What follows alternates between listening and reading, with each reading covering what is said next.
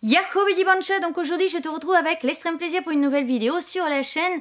Et aujourd'hui on va être sur une toute petite vidéo ouverture euh, d'accessoires pour cosplay donc je ne sais pas si tu te rappelles mais j'ai donc fait une vidéo ouverture de colis avec euh, le cosplay de Nezuko où je disais que du coup le bambou de Nezuko bah, je le trouvais pas très euh, pas, pas tip top euh, je trouvais même pas ouf du tout. Et je m'étais dit bah je l'achèterai séparément parce que on peut acheter le goodies enfin son bambou à part.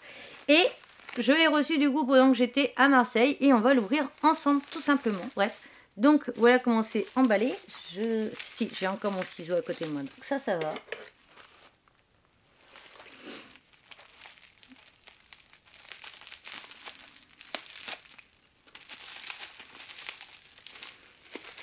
Voilà.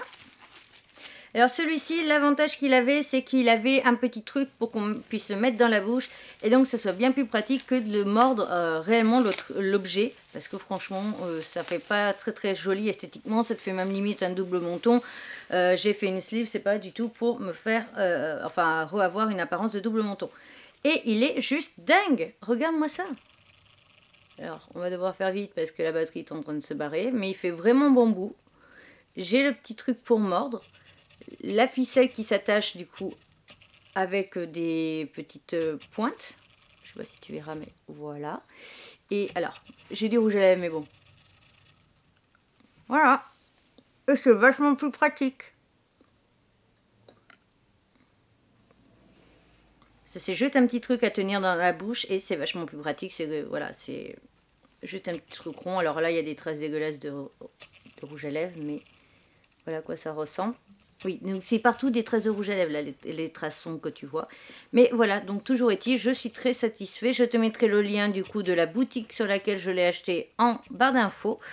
Et euh, n'hésite pas du coup à me dire si tu veux voir plus de choses justement sur mes prochains cosplays. Je ne pense pas en acheter tout de suite, hein. je pense qu'avant juin il n'y aura rien, mais on sait jamais. Je te retrouve donc bientôt pour une nouvelle aventure. Ma tête de panda pour t'abonner si ce n'est toujours pas fait. Mes réseaux sociaux, mon compte Vinted et mon compte Twitch. La précédente vidéo cosplay et la playlist. Sur ce, à bientôt